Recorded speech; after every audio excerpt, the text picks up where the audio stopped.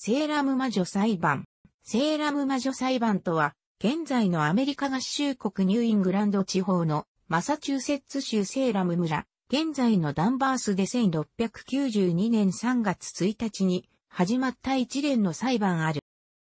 200名近い村人が魔女として告発され、19名が処刑、1名が拷問中に圧死、2人の乳児を含む5名が獄死した。この事件より前に、17世紀に、マサチューセッツ地域とコネチカット地域で12人の女性が処刑されていた。セーラムの名を冠しているが、1692年の予備審問は、セーラム村、現在のダンバース、セーラム町、イップスウィッチ、アンドーバーといった複数の町で行われた。最も悪名高い裁判は、1692年にセーラム町でオイヤーターミナー裁判所にて行われた。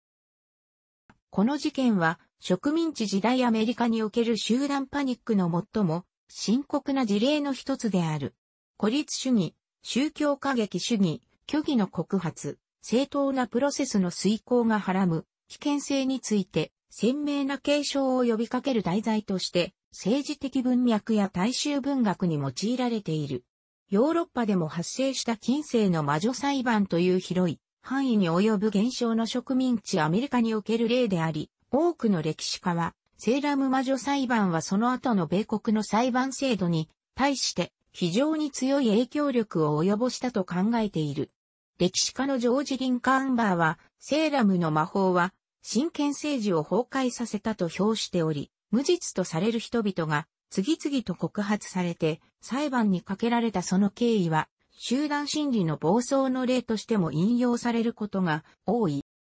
セーラム魔女裁判はヨーロッパの魔女裁判と比べて犠牲者数は際立ったものではないが、現代では近世の魔女狩りの中で最も有名な事件であると考えられている。魔女裁判は17世紀半ばまでにヨーロッパの多くの地域で衰退し始めていたが、ヨーロッパの終焉とアメリカ植民地で続いていた。セーラムの1692の1693年の出来事は、新世界で一種の爆発的なヒステリーとなったが、ヨーロッパのほとんどの地域では、魔女裁判はすでに衰退していた。この告発は、ウィリアム・グリッグスの協力を得た、10代の少女たち、特にエリザベス・ハワードによって始められた。牧師サミュエル・パリスの娘ベティと、いとこ、アビゲール・ウィリアムズは、友人らと共に親に隠れて、高齢会に参加していた。その術中、アビゲールが突然暴れ出すなど奇妙な行動を取るようにな、二人は医師によって悪魔付きと診断された。サミュエルは南アメリカ先住民の使用人ティテューバを疑い、彼女を拷問して、ブードゥーの妖術を使ったことを自白させた。キテューバの自白以降、高齢会の参加者であるさらに多くの少女たちが次々と異常な行動を起こすようになり、近隣のジョン・ヘール牧師を招聘した悪魔払いが行われたが失敗した。その少女らは12歳の娘アン・パットナム、17歳のマーシー・ルイス、アンの親友で17歳のメアリー・ウォルコット、メアリー・ウォーレン、スザンナ・シェルドンらだった。中でも、アンは、セーラムで最も実力がある一家の娘であり、アンの両親が娘の主張を支持したことが追及の大きな弾みとなった。サミュエルが娘たちを質問したところ、娘たちは村内での立場の弱かったティティバ、サラグッド、サラオズボーン3名の名前を挙げた。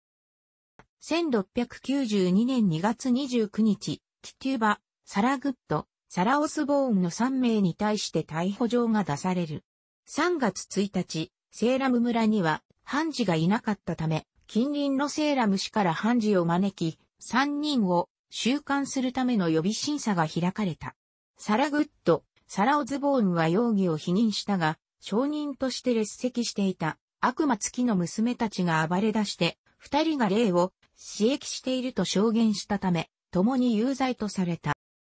ティトゥーバは自白すれば減刑されるというピューリタンの法解釈から悪魔との契約を認め、求められるままに証言を行った。ティトゥーバが他の関係者の存在を示唆したことから、再度、娘たちが質問され、マーサ・コーリー、レベッカ・ナース、ジョン・プロクター夫妻らが次々と告発された。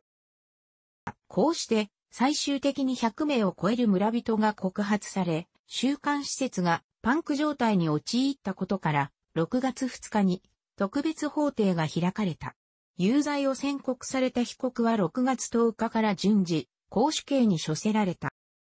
しかし秋頃には娘たちの証言に疑問を呈するものが出始めた。10月にボストンの聖職者から知事に上告が出され、事態を知った州知事が裁判の停止を命令。1693年5月、週刊者に大主退社を宣言して事態は収束した。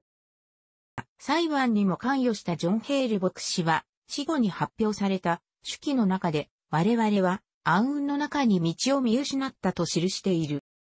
セーラム魔女裁判で処刑された人物は、全員が魔女であることを否定していた者たちであり、魔女であることを自供した者は一人も、公主刑になっていなかった。歴史上、無実の人物を恣意的に魔女に仕立て上げた若者は、多いが、そのうちのほとんどは、痙攣や発作などの実際の病気を患っていたと考えられている。しかし、セーラムの告発者の少女らは3月28日に、インガソル夫人に対し、みんなで楽しく過ごしたいから、遊びでやっていることをほのめかしていた。この事件では、一人の被告人の裁判に莫大な時間を要したため、150人近い逮捕者のうち、裁判が実現したのは31人だけだった。また、すべての被告人は最終的に無罪となった者も含めて、獄中での生活費に加え、死刑執行人の手当に至るまですべての費用の支払い義務が課せられた。出国の際にも料金が課せられたため、全員の釈放が決定した後でも多くの人が獄中に残された。サラ・ダスティンは1693年1月に法的に無罪となったが、出国料を払えず、獄中で死亡した。獄死したアン・フォスターの遺体の引き渡しには2ポンド16シリングが請求され、彼女の息子はそれを支払って、ようやく彼女を埋葬することができた。